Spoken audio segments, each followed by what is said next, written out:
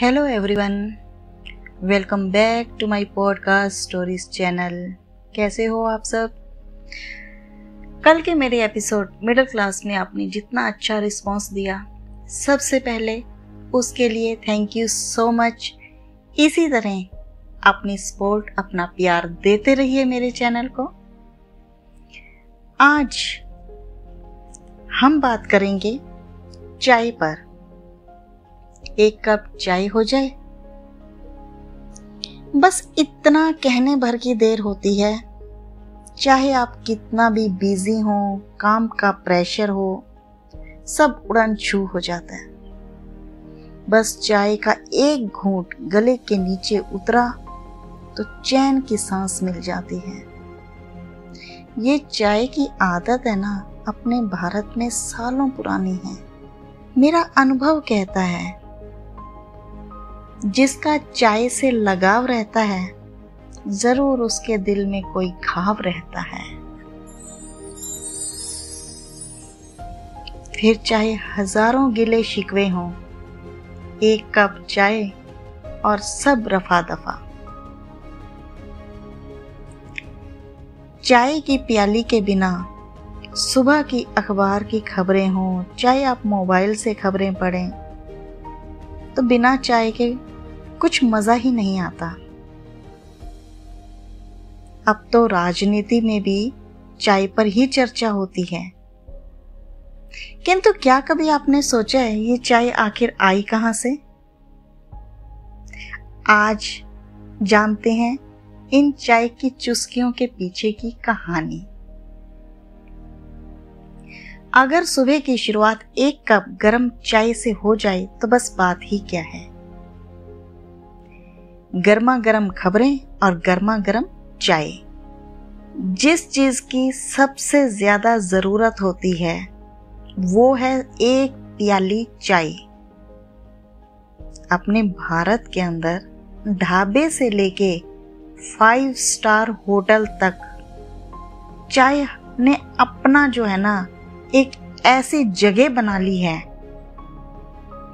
जिसकी जगह कोई और ले ही नहीं सकता। आप जानते हो इस चाय की शुरुआत कैसे हुई? इंडिया में ये चाय कैसे पहुँची? इसके पीछे एक बहुत ही प्रचलित कहानी है। एक राजा था। वो अक्सर सुबह के वक्त अपने बगीचे में बैठकर गर्म पानी पिया करता था और अपने मंत्रियों के साथ अपने पूरे दिन के काम की सलाह मशुरा किया करता था। एक दिन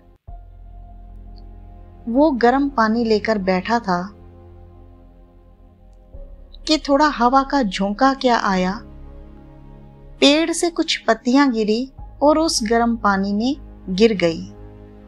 जैसे ही पेड़ की पत्तियाँ उस पानी में गिरी, उन्होंने अपना रंग बदला और उस पानी में से एक महक उठी। राजा को ताजुब हुआ कि ये क्या है? जैसे ही उन्होंने उसका स्वाद चखा तो उन्हें वो स्वाद बहुत पसंद आ गया। और इस तरह से चाय का आविष्कार हुआ।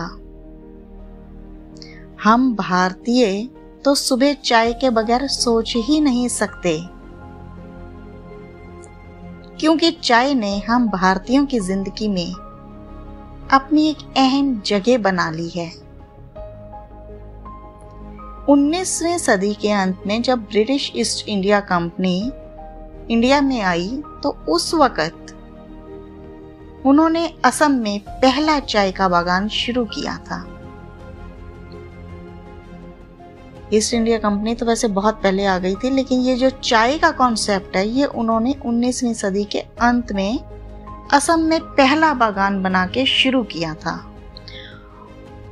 और आज भारत पूरे वर्ल्ड में चाय का सबसे बड़ा उत्पादक देश है।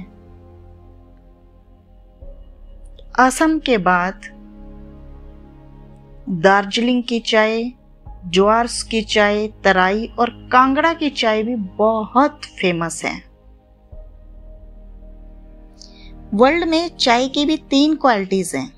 जो मेन मतलब तीन टेस्ट फ़ेमस है ना, वो इंडिया टी चाइना टी और हाइब्रिड टी इन्हीं तीन से कई तरह की चाय बनाई जाती है।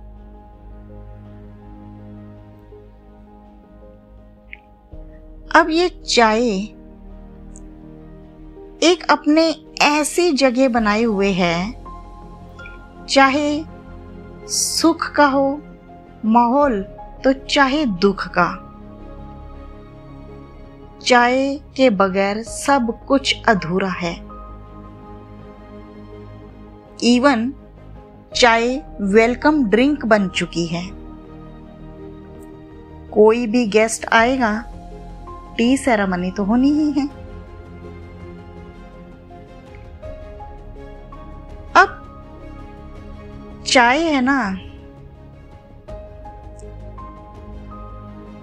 आज का इंसान अगर उसकी तुलना खुद से कर ले तो उसका किरदार भी चाय जैसा ही है।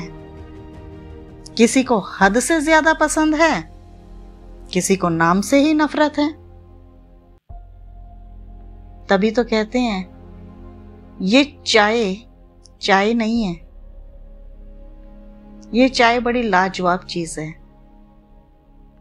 कहते हैं, आज के इस वक्त में किसी से वफा की उम्मीद मत करो। बस चाय लीजिए और सब कुछ रफा दफ़ा कीजिए।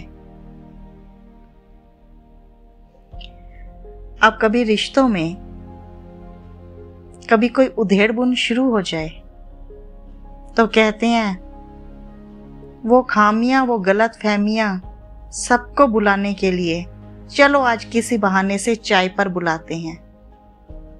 ये चाय बहुत भारी भरकम उठा पटक का, एक बहुत ही आसान ज़रिया है। कुछ भी सुलझाना हो चाय पर न्योता दीजिए, आपका सब कुछ काम ठीक और बढ़िया हो जाएगा।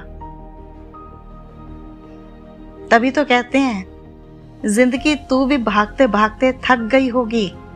चल आ कभी बैठ, साथ में मिलके चाय पीते हैं।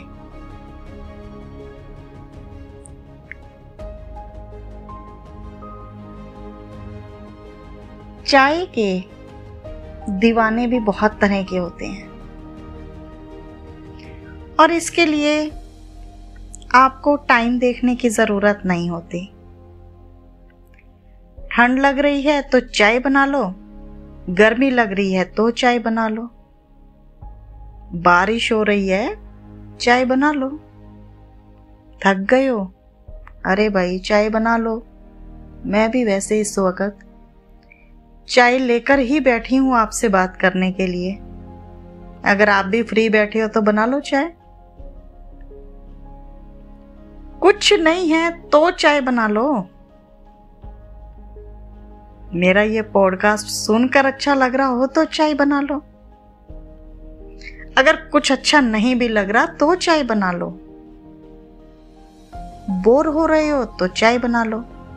सुबह हो या शाम हो चाय बना लो।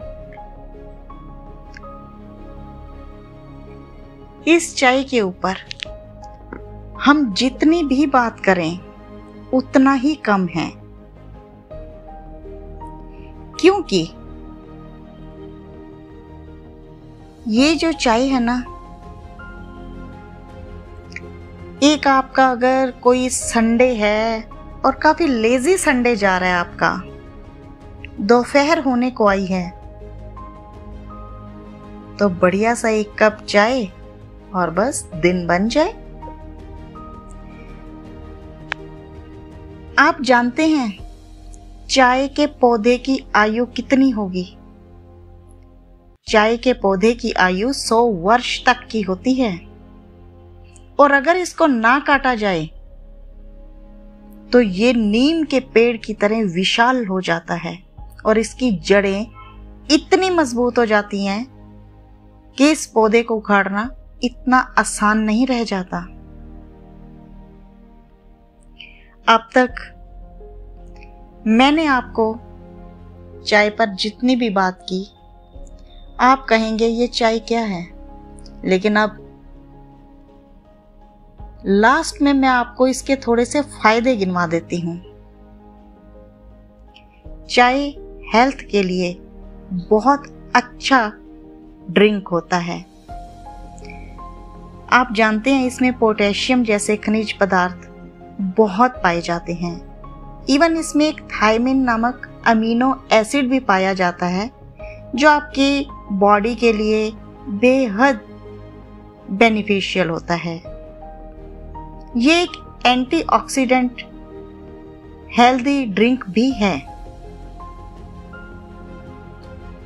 इससे आपका जो पाचन तंत्र है, उसके लिए अगर आप इसे घरेलू औषधि की तरह एक मिसाला चाय यूज़ करेंगे तो इसके बेनिफिट्स आपको खुद ब खुद पता चल जाएँगे। ये थी हमारी एक छोटी सी चाय पर चर्चा। आपको कैसी लगी? कमेंट करके ज़रूर बताइएगा। लाइक और शेयर कर दीजिएगा और सब्सक्राइब करना बिल्कुल मत भूलिएगा।